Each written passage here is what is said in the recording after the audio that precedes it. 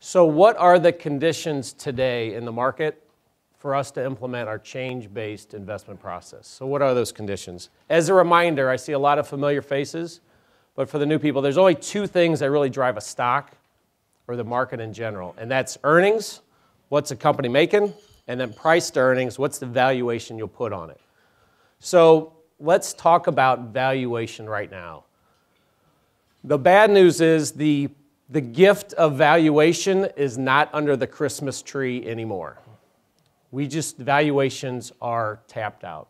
So we're not expecting valuation to be a big driver going forward. How do we get to this? So this is our famous rule of 20. A lot of you have seen this, but as a reminder, this simply takes 20 minus the 10 year treasury. We just mentioned it's, let's say, two and a half.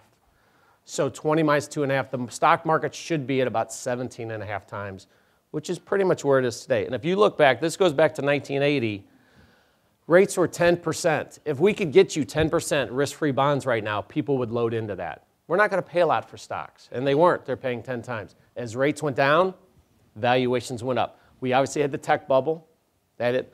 But over the last nine years, really 10 years, the blue line, which is what the market has been, which was trading at 10 times in 09, the red line is what it should have been. So it should have been trading it. We had this present under the tree for eight years, nine years of low valuations. Well, now, unfortunately, those we call them alligator jaws, they have closed.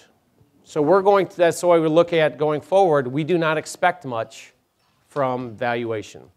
In fact, we're pricing in 2.5%. If 3% happens, we could have a little headwind after this massive tailwind.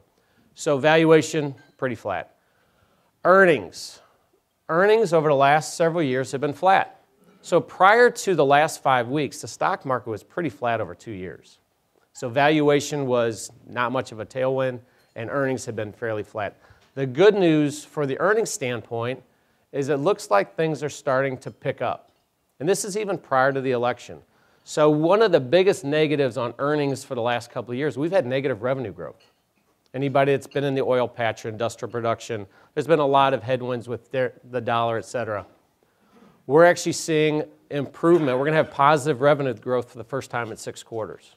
So, in aggregate, we're seeing revenue growth starting to come back, earnings up modestly. So, with that backdrop, we're kind of in the same camp of the 4 to 6% headline news that are out there.